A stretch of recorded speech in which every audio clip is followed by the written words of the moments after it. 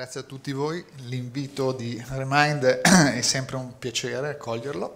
è un po' stare a casa, diciamola così. E con RIX abbiamo accolto questo invito. RIX è una realtà associativa anglosassone, Royal Institute of Chartered Surveyor, che raduna le professionalità nell'immobiliare a livello internazionale con, eh, creando linee guida, criteri eh, e diciamo, metodologie di lavoro, oltre che eh, lavorare a stretto gomito con il mondo universitario internazionale, creando le cosiddette best practice che vengono utilizzate un po' da tutti i vari operatori del, del, settore, quindi investitori, eh, professionisti, ingegneri e tutte un po' le professionalità che ruotano attorno alle infrastrutture e all'immobiliare.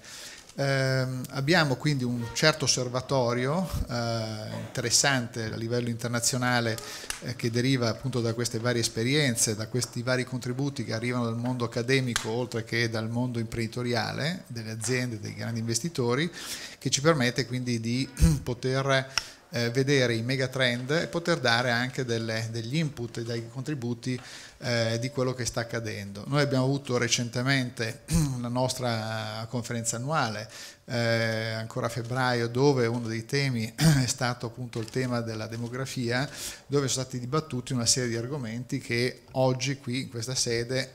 è un tema del, dell'abitare, quello che sarà eh, il mondo del, dell'abitare o comunque del nostro vivere quotidiano diverso aspetto a quello che è stato in passato ed è diciamo, un momento storico piuttosto eh, importante. Abbiamo le cosiddette 3D, demografia, digitalizzazione, eh, eh, che sono i due elementi eh, portanti e decarbonization, chiaramente eh, tre elementi importanti che condurranno eh, la gestione di, di, degli investimenti, delle attività immobiliari che caratterizzeranno quindi le attività del nostro quotidiano. Un tema demografico in particolar modo caratterizzerà anche il nostro modo di vivere, di abitare, eh, nuclei familiari chiaramente in, eh, diciamo sempre più ristretti, eh, popolazione in decrescita, chi la chiama decrescita felice, chi eh, al contrario, però diciamo che sarà un mondo caratterizzato chiaramente da grandi eh, momenti di ripensamento del, del nostro vivere. Cosa succede? Gli impatti su grandi città, rispetto alle città eh, minori, sono state citate adesso Pietrasanta che tra l'altro conosco molto bene l'intervento sul eh, mercato comunale trasformato nel museo di Mitorai, molto, molto bello, eh, però diciamo che c'è quindi un momento in cui le nostre città le dobbiamo ripensare, ripensare non soltanto le grandi città che possono essere attrattive, Roma, Milano chiaramente, ma che rientrano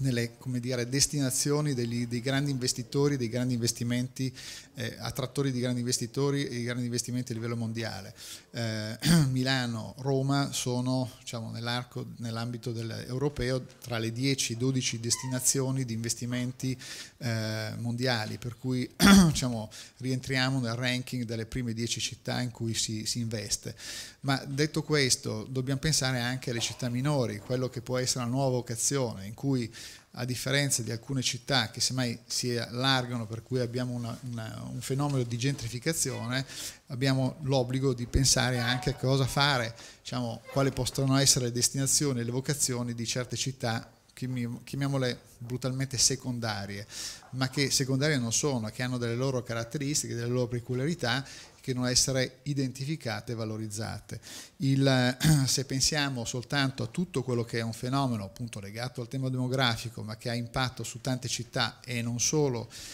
città come Milano, Roma, ripeto, eh, tutto il mondo studentato, tutto il tema del senior living, eh, sono momenti che portano a dei forti ripensamenti perché città universitarie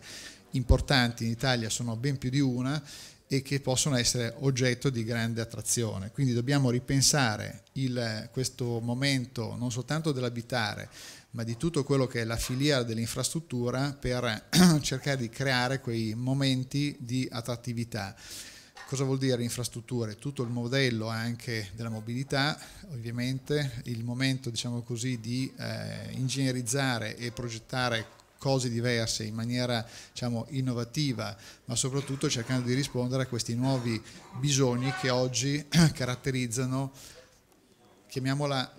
la popolazione in senso lato, cioè un nuovo eh, modello di popolazione che non ha più famiglie numerose ma ha dei nuclei di single, eh, quindi esigenze abitative totalmente diverse. Ultimo cenno è un fatto legato a questa prossima scadenza che sarà del, della trasformazione energetica eh, sul, eh, e quindi sull'incremento prestazionale degli edifici dove eh, diciamo, è, a livello europeo si è cercato di creare uno standard omogeneo un po' per tutte le latitudini. Francamente ho qualche dubbio, qualche perplessità a riguardo perché diciamo, le trasmittanze energetiche che stanno a Helsinki non sono quelle che stanno a Palermo, per cui diciamo, le esigenze di creare abitazioni o comunque edifici con caratteristiche diverse purtroppo devono rispondere a eh, diciamo, tecniche costruttive diverse il, ma, diciamo, quindi non creando elementi di polemica, quanto piuttosto di cercare di applicare quelle che sono poi delle norme, far calarle nell'ambito diciamo così, di un contesto territoriale diverso e che rendono diciamo, quella norma eh, ragionevole e applicabile. Su questo devo dire che eh, come RIX quindi ci siamo, ci, ci siamo sempre mossi e continuiamo a muoverci anche su questo tema delle norme e delle, non dico tanto interpretazioni, ma quanto sull'applicabilità di determinate discipline, creando quindi dei dialoghi anche con le istituzioni, con eh, il mondo accademico, per dare quindi delle risposte sull'applicabilità di certe regole, di certe norme che chiaramente hanno una loro ragione, eh, ragione d'essere, ma a volte hanno difficile applicazione per evidenti diciamo, ragioni geografici e, e di, eh, diciamo, climatici. Di, ehm, abbiamo parlato appunto di un modello eh, di, eh, demografico diverso, stili di vita diversi che ci portano quindi a ripensare non soltanto all'abitare ma anche al mondo del lavoro, per cui anche su questo abbiamo, ehm, vediamo ormai questa migrazione sempre di più su il, il, lavoro in remoto, tras, diciamo, il trasferimento e trasporto di merci, quindi l'attività di stoccaggio e di eh, creazione di luoghi, di centri logistici che possono rendere il mercato più vicino poi e più prossimo al, al, al fruitore, al, al consumatore finale quindi con una, una catena diciamo così, eh, distributiva totalmente diversa. Quindi siamo in un momento storico particolarmente rilevante mm. dove questi momenti, come oggi questo di Remind, ci permettono di fare anche delle riflessioni, di pensare come affrontare queste nuove sfide. Ti ringrazio Paolo.